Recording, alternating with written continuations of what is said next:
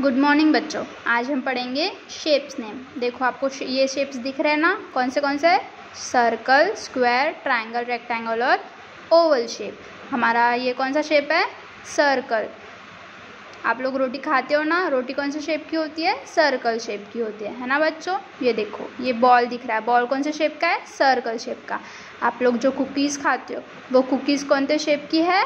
Circle shape की। है ना, बच्चों? ये देखो। बटन। बॉयज़ लोग शर्ट पहनते हैं, उसमें क्या होता है? बटन। गर्ल्स के भी फ्रॉक में होता है। वो कौन से शेप की होती है?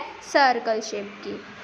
ये देखो, ये कौन सा शेप दिख रहा है बच्चों? बता बच्चों कौन सा शेप है ये? ये है स्क्वायर ये देखो, आपके घर पे क्वेश्चन होता है। क्वेश्चन कौन से शेप का है? स्क्वायर आप गिफ्ट्स देते हो ना अपने फ्रेंड्स को? ये देखो गिफ्ट बॉक्स गिफ्ट बॉक्स का क्या शेप है? स्क्वायर शेप है।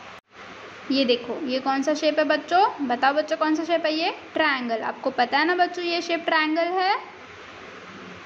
ये देखो क्रिसमस ट्री में आपको कौन सा शेप दिख रहा है बच्चों? ट्रायंगल शेप दिख रहा है ना आपको क्रिसमस ट्री में? देखो, कैसे ट्रायंगल से क्रिसमस ट्री बनाई है। ये देखो, ये कौन सा शेप दिख रहा है बच्चों? बताओ, ये है रेक्टेंगल रेक्टेंगल शेप पता है ना आपको? ये देखो, आप घर में टीवी देखते हो ना? टीवी कौन से शेप की होती है? रेक्टेंगल शेप की होती है, जो आपको देखने में बहुत मज़ा आता है।